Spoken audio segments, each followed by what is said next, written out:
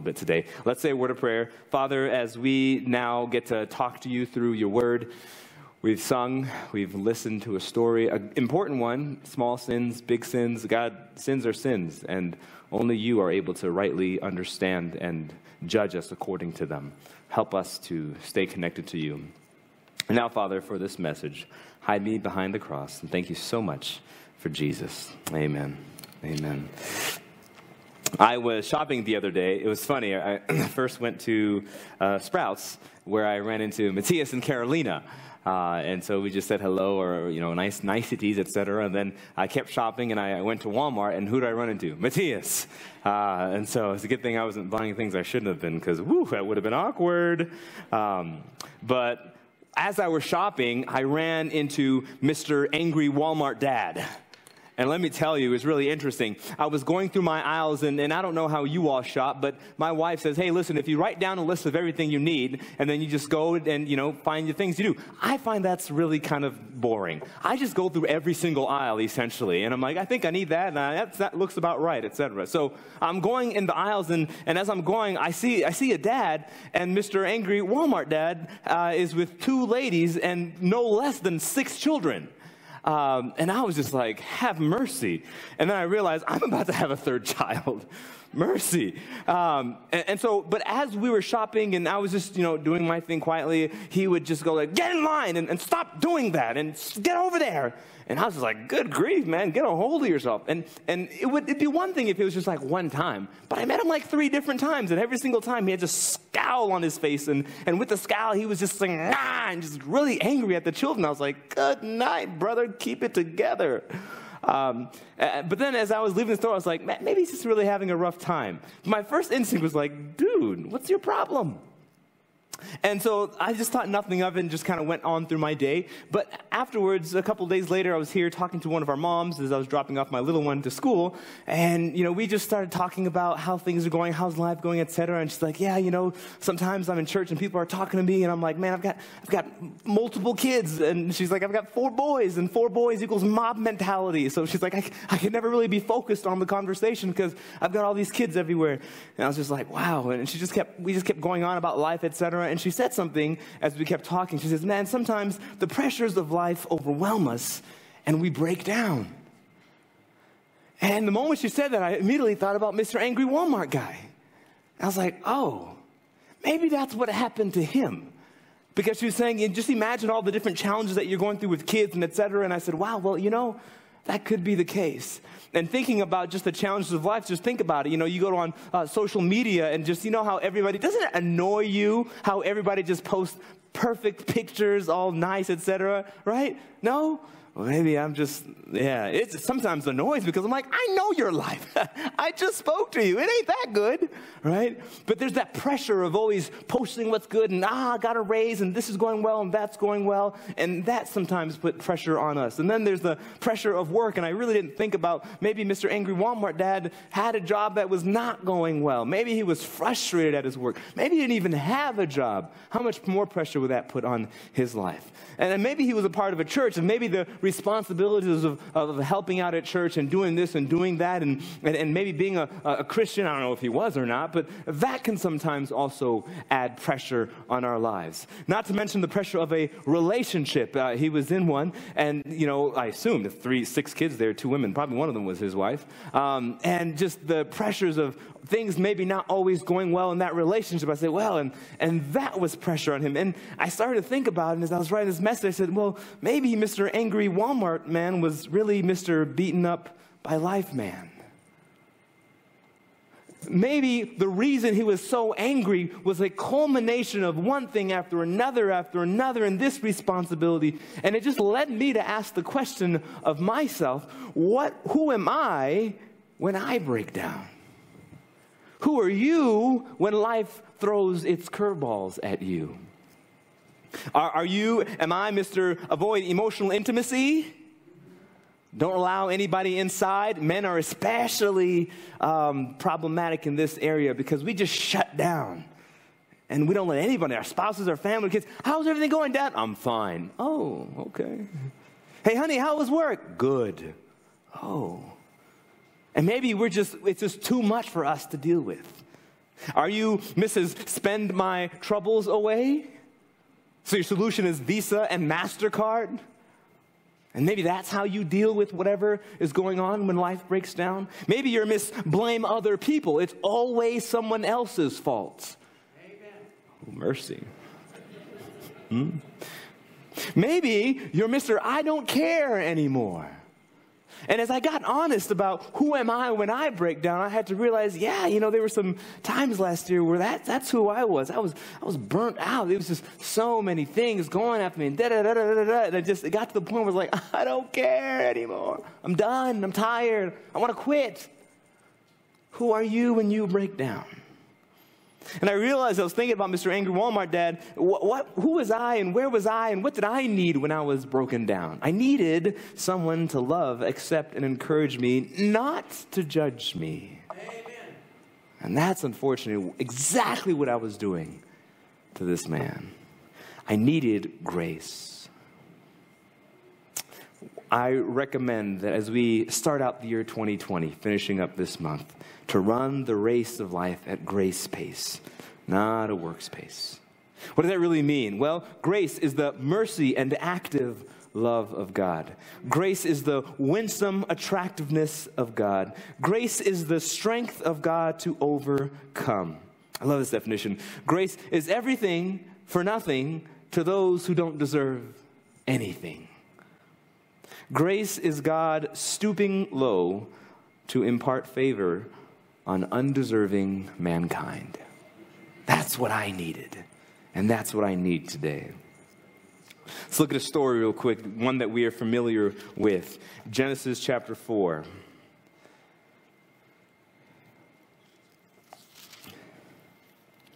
Genesis chapter 4 tells the story of creation and the story of life. And right after Adam and Eve sin, tells a tragic story of their sons, Cain and Abel. It says here in, in Genesis chapter 4 now the man had relations with his wife Eve and conceived and gave birth to Cain, and she said, I have gotten a man child with the help of the Lord. So tragically enough, Adam and Eve, after they sinned, God gave this commandment, or rather this, this promise in the previous chapter, saying, he was going to send the Messiah. And so, you know, Eve, when, when she had gotten this boy, she's like, oh, Cain, may, maybe this is who God is going to use to save the world. How tragic it would be that that was so far from the truth. She said, I've gotten a man child with the help of the Lord. Again, she gave birth to her, his brother Abel, and Abel was a keeper of the flocks, but Cain was a tiller of the ground. So it came in the course of time that Cain brought an offering to the Lord of the fruit of the ground. Abel, on his part, also brought the firstlings of his flock and of their fat portions. And the Lord had regard for Abel and for his offering, but for Cain, or but not but for Cain and his offering, he had no regard. So Cain became very angry, and his countenance fell. Then the Lord said to Cain, Why are you angry? And why has your countenance fallen? If you do well, will not your countenance be lifted up? And if you do not do well, sin is crouching at your door, and its desire is for you, but you must master it. Cain and Abel, both in a predicament, both needing grace. They had both sinned. They were both sinners. They had both broken God's law as a result of their choices. But the good thing is, grace provided them a way out of their problem. Grace said, I know you've messed up, but here's the way out. Here's what I want you to do. Cain and Abel, I want you to bring a sacrifice to me. Why? A sacrifice, a very specific sacrifice. God wanted him to bring a, a lamb, and, and not just any lamb, but a firstborn, a male without any blemish, because in the future, God was pointing them forward to ultimately Jesus who would die for our sins, and he would be the one who took our place he would get the punishment that we deserved. So God said, Listen, I want you to recognize that I am going to send someone to die on your behalf, my son. But I want you to recognize that, and by recognizing that, bring an offering. Not just any kind of offering, the exact offering that I told you, because the sin, um, the person who is going to pay for your sin is going to be very specific and it's going to be very costly. And so that request was made, but Cain didn't want to follow that.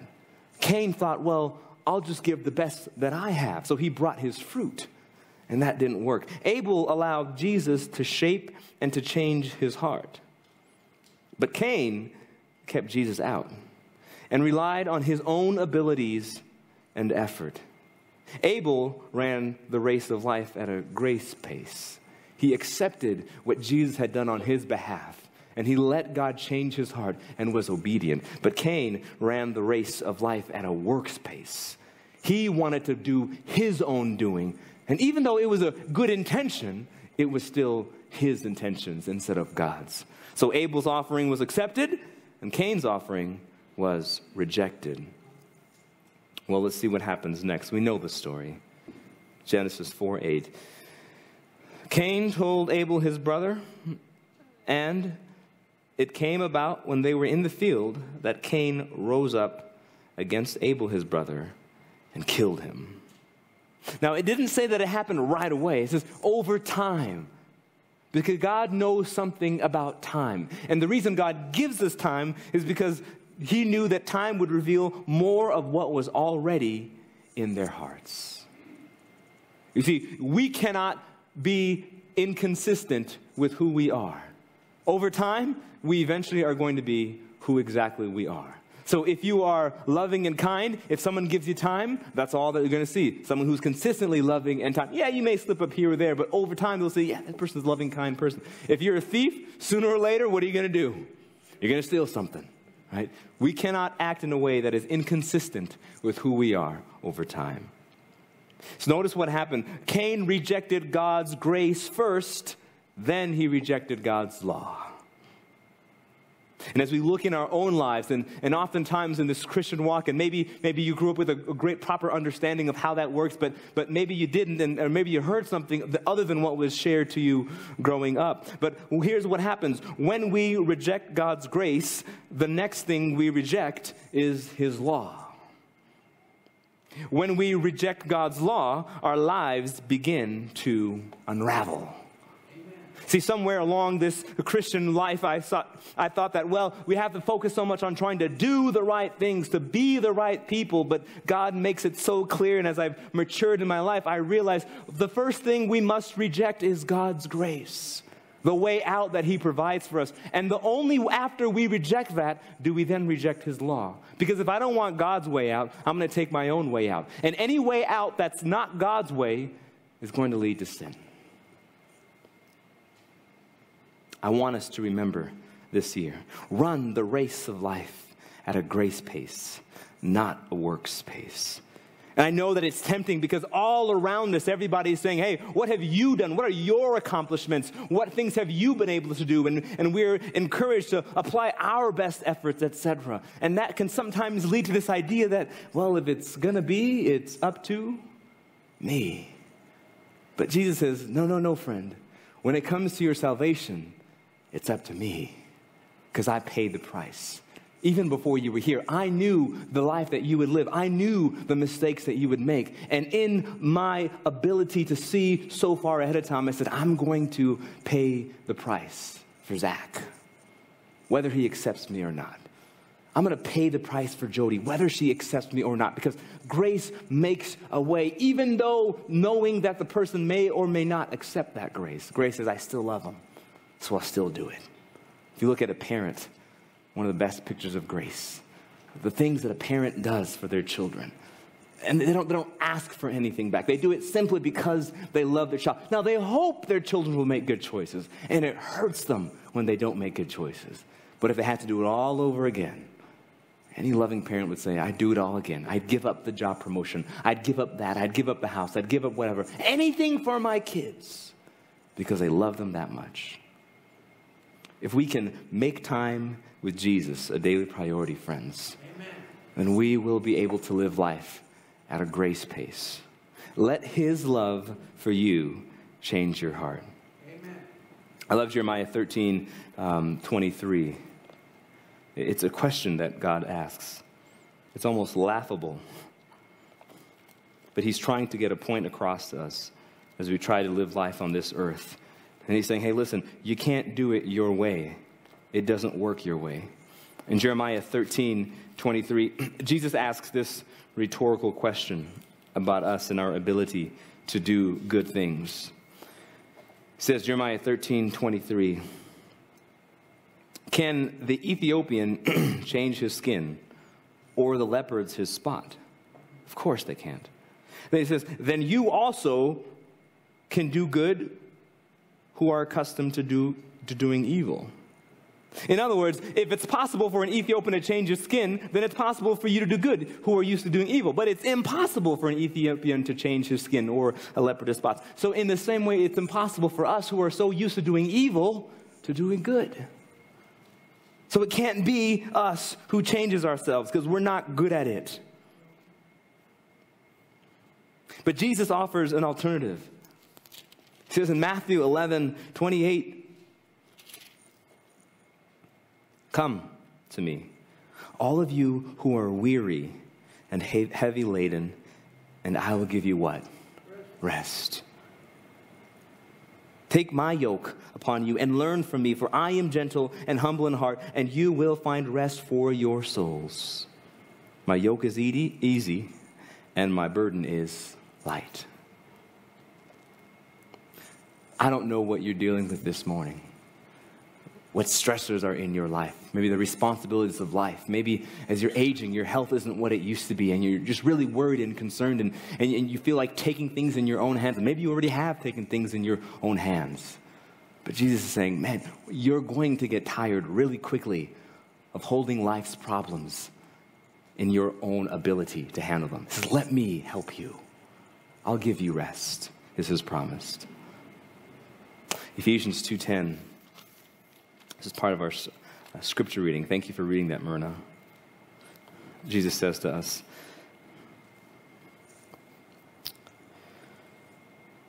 For we are his workmanship, created in Christ Jesus for good works, which God prepared beforehand so that we would walk in them.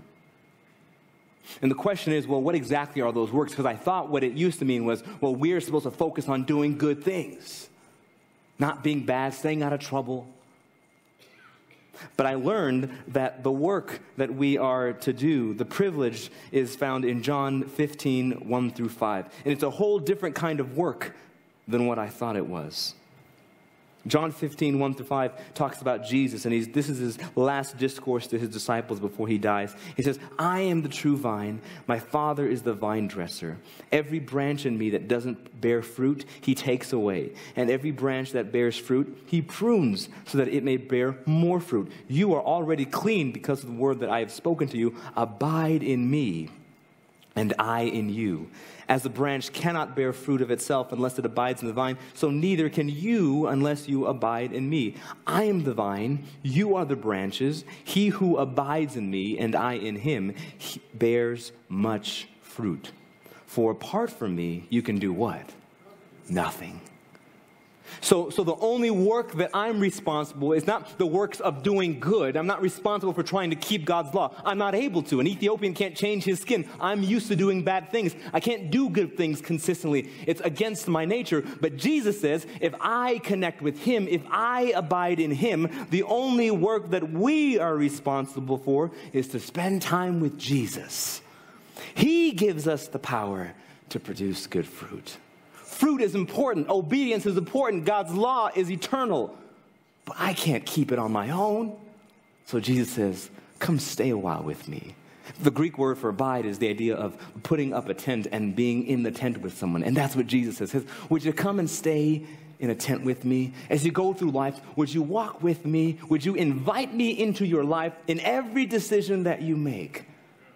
Because as you do that slowly but surely, your life will look more like Jesus' life, and people will start to say, Hey, you used to do this, but you don't do it anymore. And you say, Oh, that's interesting. Did you make a conscious effort to stop? No, not really. Well, what happened? Well, I kept spending time with Jesus, and He kept turning my heart towards Him. And then I said, You know what? No, thank you. Because it's not one of those, Ah, I'm going to try really hard, and oh, I did good today, boy.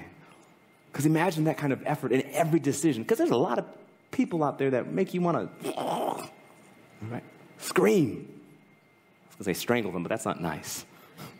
Sometimes we want to, right? So Jesus says, listen, it's too much effort to try and love all these crazy people, us included. So he says, let me change your heart. Because when I change your heart, it's not work anymore. It's a natural outflow of who you are. So as I think back to Mr. Angry Walmart dad, what would have been the work that would have come had I been spending more time inviting Jesus in my life. Because I spend time with Jesus every day. But the problem is sometimes is I spend time with him in the morning. I'm like, peace out, Jesus. I'm going to see you later. And Jesus is like, oh, okay, bye. And then I run into somebody who maybe needs some grace, but do I have any grace to give out? No, because Jesus is still at the house. He's not really, but in my heart he is, because I didn't invite him along with me. So next time, by God's grace, I could say a prayer for him and say, Wow, Lord, he must have a lot of challenges. Please give him strength. I could have spoken an encouraging word to him. Said, hey, brother, man, thanks for being a great dad. I know you're doing your best. The truth of the matter for me, friends, is my heart looks like Cain's heart more often than I'd like to admit. Because we read these Bible stories of maybe the, the, good person and the person that was maybe not so good, not realizing that they both needed God's grace equally. The thing is, God knew Cain's heart and still extended his grace to him. That gives me hope because when I'm in those Cain like moments and I'm relying on my own strength, on my gut, my determination, my willpower, Jesus says, Daniel, you are acting a fool, but I still got you. You're my fool. I died for you, and I've got you covered. And he extends that grace to me. So, the question for us, friends, this week is how can I let God's grace shine through my life this week? Because there's going to be a moment, probably more than a moment, that you need Him. And the action that happens right in that moment of showtime is going to be predicated on the time that you have spent with Him and whether He is walking with you. And if He is, then by His grace, you'll make the right choice. And if not, then you'll be asking for forgiveness, saying, Lord, I messed up again. And you know what he's going to say? The same thing in the same opportunity he gave to Cain, he gave to Abel. He says, Man, my son, I'm here for you. It's okay. I've got you. I died for you. I love you. Let's try again. So, friends, let's remind ourselves this week run the race of life at a grace pace, not a works pace. What does that mean? It means focus on the relationship. Relationship with Jesus, the number one, the only thing that will take us through life at a grace pace. We've learned through this series, friends, in January don't let good things get in the way of God things. To be successful in our Christian journey, we've got to look at things using God's perspective. And today, to run the race of life at a grace pace, not a works place. I thank God for that little puppy dog because it reminds me of me. And that's all of God's grace. It's there for you every time you need it. And even in eternity, we will need God's grace. If you know that there's an area of your life that you're like, yeah, Lord, I woo, need some grace in that area, let's bow your heads. Just lift up your hands and say, Jesus, yes, Lord. I recognize I don't have it all together, and I need your help to run life's race at a grace pace. Jesus, our hands, mine being the first, are raised. We need you in our lives, in our marriages, in our homes, in our churches, at our places of work, at our, with our children, and we're desperate. but sometimes we're stuck on self, and we feel like we can do it all on our own.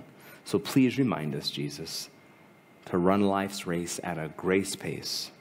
And Father, when we mess up, because it's bound to happen, help us to stay connected to you, not to beat ourselves up because we messed up. But Jesus, by looking to you, slowly but surely, our life will be one with yours, so that when carrying out our own impulses, it will be doing your work. That's our prayer. In Jesus' name, amen.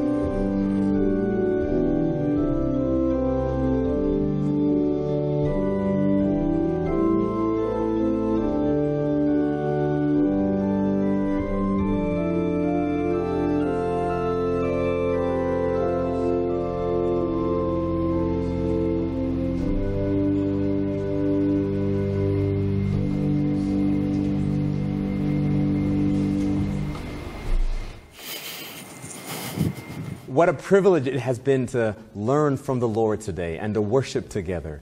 And until we meet again next week, let these words ring in your ears. May the Lord bless you and keep you.